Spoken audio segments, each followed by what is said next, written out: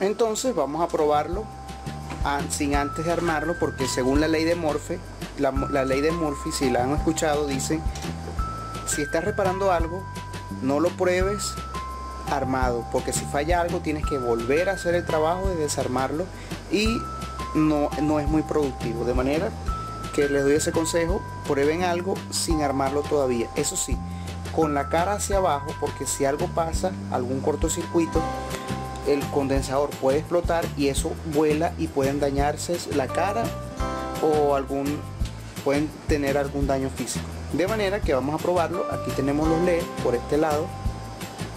Vamos a ponerlo así para verlo mejor.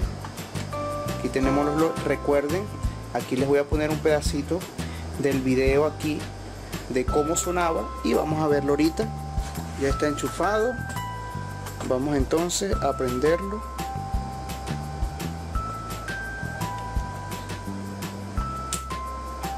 ahí está. Listo. Hizo ya su ciclo prendió el led el led verde. Vamos a mostrarlo aquí. Fíjense lo apago prendo listo cargó. Ya hemos recuperado entonces nuestro regulador de voltaje. Vamos a armarlo. Ya después de armarlo ustedes bueno les voy a dar alguna recomendación. Vamos a desenchufarlo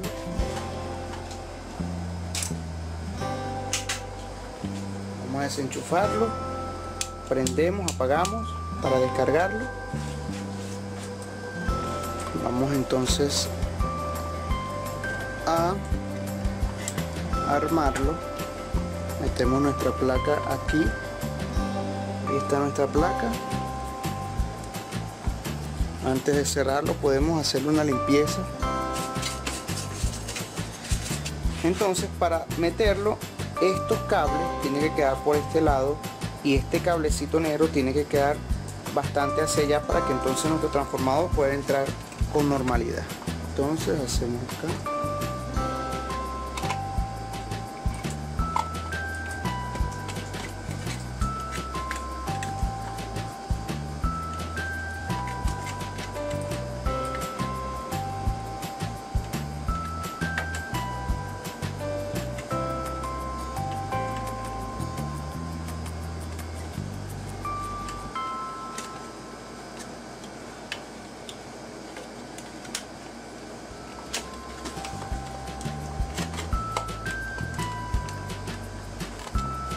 debemos estar pendientes de este negrito que está por aquí.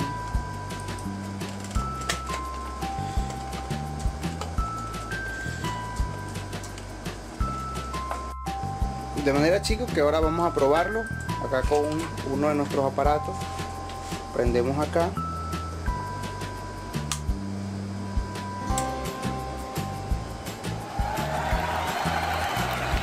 Ahí está. Apagamos excelente. Vamos a esperar que se apague el teléfono.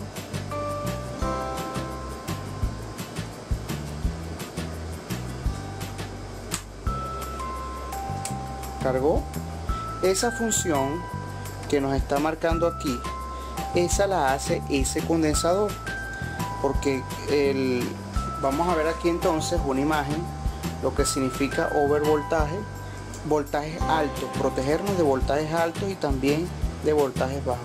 Eso es todo por este video chicos, si te gustó dale me gusta. Recordemos, nuestro canal está dedicado a la reparación y mantenimiento de impresoras, pero nuestra impresora siempre está conectada a uno de estos reguladores o si, lo, si la tienes conectada directamente al tomacorriente de tu casa, cuídala, cómprate uno de estos, no necesariamente tiene que ser esta marca, aunque debo reconocer que esta marca ha sido totalmente buena para mí. Más de 6 años y ahora fue que me falló y quería compartir con ustedes esta reparación para que ustedes también si se les puede pasar que tienen sus equipos, su computadora, porque si me estás viendo, me estás viendo por una computadora, si me estás viendo por una, por una PC, por una laptop, por una tablet, por un dispositivo móvil, también debes conectar tu cargador a este como yo estoy conectando este teléfono. De manera que si en tal caso les, sucede a ustedes que no carga que no cargan esto y se queda titilando como lo vimos al principio, esta es la solución, vayan al grano. Si no conoces mucho de electrónica, entonces te recomiendo, no lo hagas, deja a los profesionales. Fíjense que tenemos que trabajar con tester, con cautín, con calor y hay que saber soldar y desoldar y saber cómo se testean los componentes. Entonces chicos, hasta luego, pásenla bien, denle me gusta y hasta un nuevo, una nueva oportunidad. Espero que les haya servido y hayan aprendido mucho. Hasta luego.